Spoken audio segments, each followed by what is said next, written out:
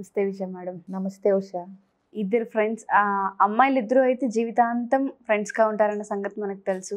ఇద్దరు అబ్బాయిలు అయితే జీవితాంతం ఫ్రెండ్స్గా ఉంటారని మనకు తెలుసు.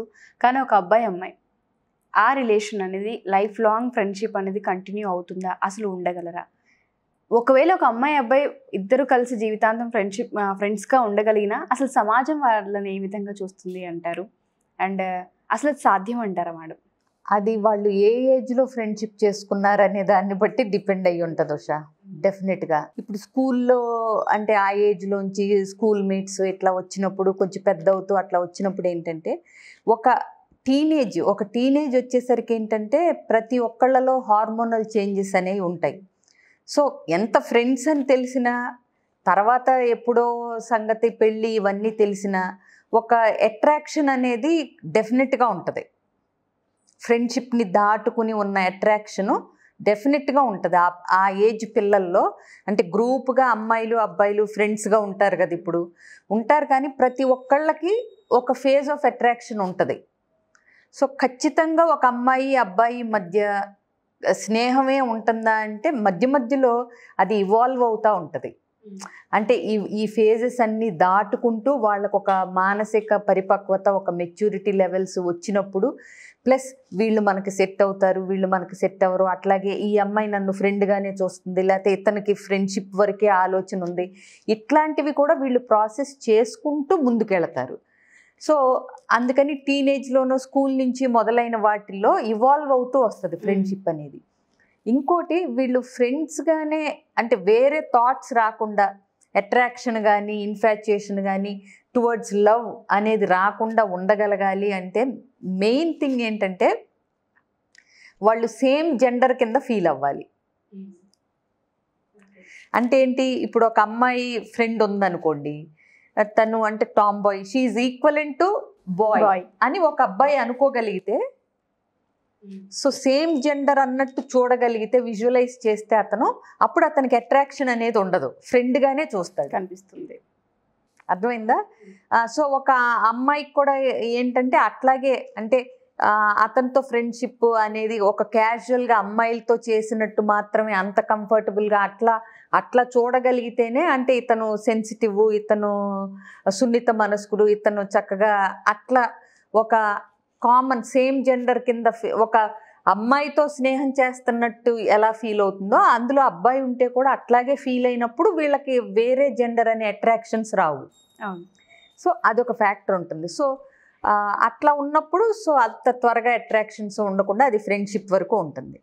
ఇంకోటి ఏ ఏజ్లో ఫ్రెండ్స్ అయ్యారు అనే దాన్ని బట్టి.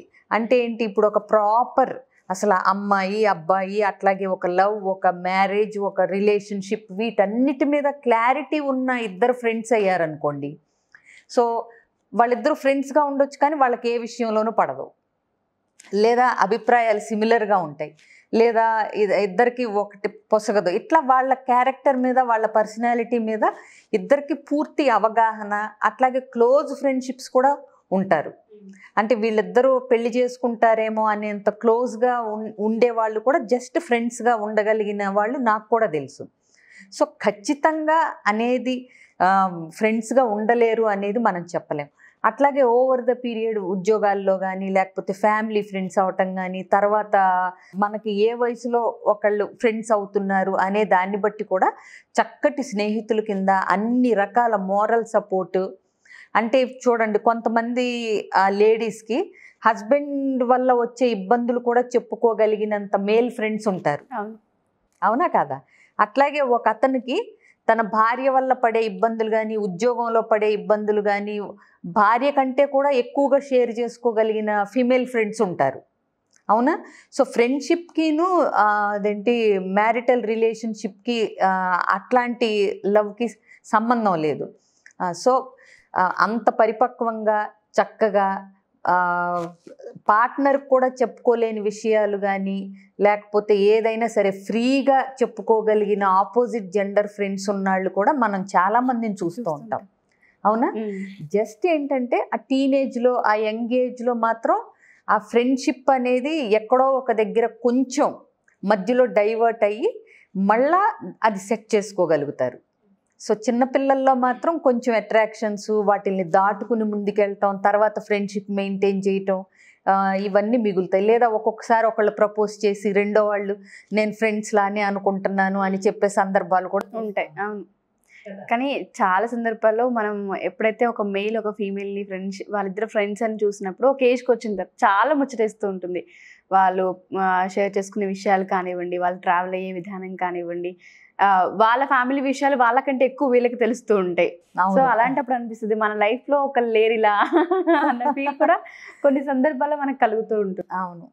ఇంకా ఆపోజిట్ జెండర్ ఫ్రెండ్స్లో ఒక రకంగా చెప్పాలంటే అసూయలు లేకపోతే కంపారిజన్లు ఇట్లాంటివి కూడా చాలా తక్కువ ఉంటాయి. సో ప్రా చక్కగా అంటే మెయింటైన్ చేయొచ్చు. నిజం చెప్పాలంటే రెస్పెక్టబుల్ ఫ్రెండ్షిప్ కూడా మెయింటైన్ చేయొచ్చు. చాలా మందికి ఇట్లాంటి క్వశ్చన్స్కి ఆన్సర్స్ ఎక్స్పెక్ట్ చేస్తూ ఉంటారు.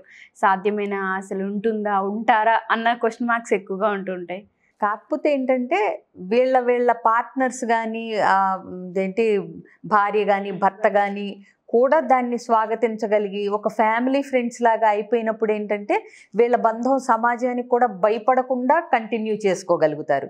లేదంటే ఇప్పుడు వాళ్ళిద్దరూ కలిసి ఎక్కడికన్నా వెళ్తున్నా ఏదైనా సరే వెళ్తున్నా ఈ వేరుగా చూసే సొసైటీలో ఉన్నాం ఇంకా మనం. అవునా కదా? సో అట్లాంటి ఇబ్బందులు రాకుండా ఈ ఫ్రెండ్షిప్ని ఆపోజిట్ జెండర్స్ ఎప్పుడైతే నిలబెట్టుకోవాలనుకుంటున్నారో ఫ్యామిలీస్ని కూడా ఇన్వాల్వ్ చేయగలిగితే ఏంటంటే వీళ్ళ ఫ్రెండ్షిప్ ఇంకా ఏ ఇబ్బందులు లేకుండా జీవితాంతం. కొనసాగే అవకాశం ఎక్కువ ఉంటుంది ఎవరికి భయపడాల్సిన పని లేకుండా ఇట్లాంటివి ఎవరేమనుకుంటారో లేకపోతే నా భర్త ఏమనుకుంటాడో లేకపోతే మా ఆవిడేమనుకుంటుందో అనేది లేకుండా చక్కగా ఒక ఫ్యామిలీ బాండింగ్ కింద ఫ్యామిలీ ఫ్రెండ్స్ కింద చేసుకున్నారనుకోండి చాలా బాగుంటుంది. అప్పుడు సరదాగా వీళ్ళు వీళ్ళే జోక్స్ వేసుకుంటూ ఉంటారు. ఏం మా ఆవిడ మీకు ఇంకా ఈ పాటికి చెప్పేసే ఉండాలి. నా మీద కంప్లైంట్స్. అట్లా ఒక భర్త చెణుకులు విసరొచ్చు. అంత హెల్తీగా దాన్ని తీసుకెళ్ళగలగటం అనేది మన చేతుల్లో ఉంటుంది. ఆ ఫ్రెండ్షిప్ని పొల్యూట్ చేయకుండా ఎవరూ కూడా పొల్ దాన్ని అంటే శంకించే అవకాశం రాకుండా కూడా ఇవ్వాల్సిన బాధ్యత కూడా మన మీద ఉంటుంది. Thank you ma'am. Thank you so much.